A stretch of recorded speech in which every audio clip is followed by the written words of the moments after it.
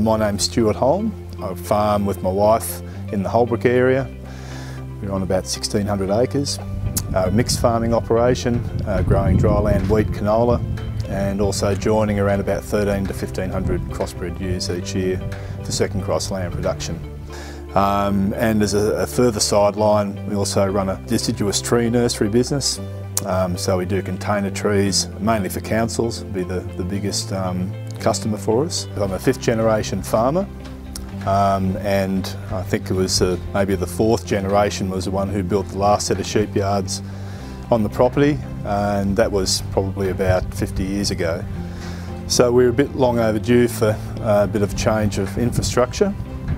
Like any infrastructure you need to find the dollars for it and uh, it's one of those jobs that gets put off for as, as long as you can until uh, everything gets too hard. So the reality of not having good infrastructure is that you end up not doing the right management at the right time. So that's probably the biggest rationale for, for doing something with ProWay.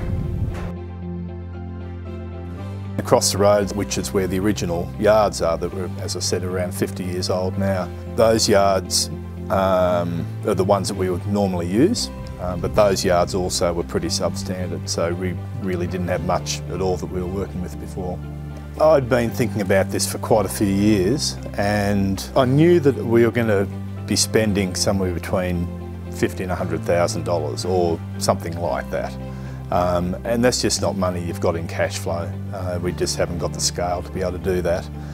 Uh, we were only really, you know, 1,300 users, it's not a big operation but um, you still need good facilities. It doesn't matter whether you've got 1,300 ewes or you know 5,000 ewes. You're still going to need good facilities to try and do the right management. Finding a, a way to fund it was the, was probably the trick, you know. So we use uh, um, advisors from over at Deniliquin and uh, I think they're the first ones who told us about that Farm Innovation Fund which the Rural Assistance Authority of New South Wales had put up uh, which was reasonably cheap money to borrow, 2% uh, and up to 20 year repayment of the loan and you just can't get that sort of term in commercial uh, lending. The Farm Innovation Fund it seemed to be a pretty good option really for, for investing in infrastructure that was pretty badly needed. Uh, it's, it's quite broad, uh, it's for any permanent infrastructure. Um, so something like sheep yards or a shearing shed, even the shed over the facility. So uh, yeah, all of those things all fall within that bracket. It means that uh, we've probably got payments of about 2600 every quarter um, for the next 20 years and so that's quite achievable. We approached ProWay after going to the Henty Machinery field days and having a look at a, a few different options. We spoke to a designer by the name of Damien Halloway, who's a local from the Wagga area. I think just struck up a rapport with him, so I believe that we had a fair bit of trust in him and in what he was delivering and uh, he seemed to get designs to us, was listening to what we were asking for. In my own head I had a, a bit of an idea on what I thought might work.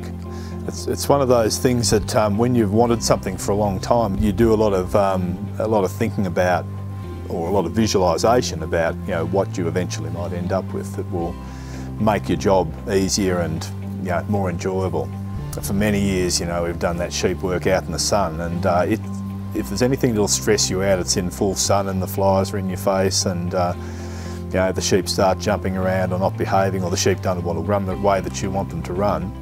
So yeah, we've done, I guess the shed is one thing, the slab is another. So working on the concrete there that you're not working in mud and it's all bogged up.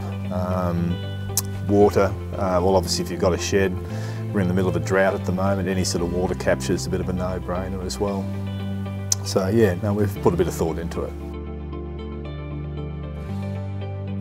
Well today we're just running the main mob of ewes through, there's about a thousand older ewes there that we're running through and checking udders. If the udders are no good, teeth are no good, then those ewes go out and we're only retaining those ewes that we need. Uh, I think this is the first time I've done this for many years and it's usually because it's a hard job to do if you haven't got good facilities. So it's nice to be able to do that job at the correct time of the year and, um, and the, the, payback will be that you're not feeding those animals that you don't need. Um, I've got a young bloke here helping me but What a lot of us farmers are working with these days is if you went back 50 or 100 years, our labour force was probably five times or more. These days, it's you uh, you pared it down right to the bare bones. So you really do need to have um, facilities or systems in place on your farm that allow you to do the work yourself as much as possible, utilising bugle type designs. The serpentine works well. It seems to be feeding into that combi clamp really well. The bulk handler that we've got here, they're all things that make it much easier for one person. I think the average age of farmers is up over 60. All those things you've got to take into account. You need to be able to do the work, get it done at the right time, um, still enjoy it, and we can get the job done without um, putting a heap of stress on those sheep. Safety of the animals, that's another thing I would say about the yard design and the way they're made, you know, the way you approach your uh, husbandry of your animals. Uh, a lot of those things have been taken into account there as well. So the yard design here is quite optimal. There's hardly any noise at all going on there while we've been working our way through these ewes here. Uh, there's less stress on the animals, so that's going to affect productivity down the track. So as well as it's more pleasant to be in there and not having a heap of noise anyway, I think. Uh, look, I found ProWay really good, and uh, we spoke a bit earlier about relationships. You have to have a bit of trust in those people you're working with. Uh, you think about you go and concrete in all these posts and shed and everything else, and if it's not right, then you know you've got to you to put up with that for a long time. So I um, always had plenty of faith in ProWay that they knew what they were doing. They're arguably leaders in the industry with uh, yard design and construction.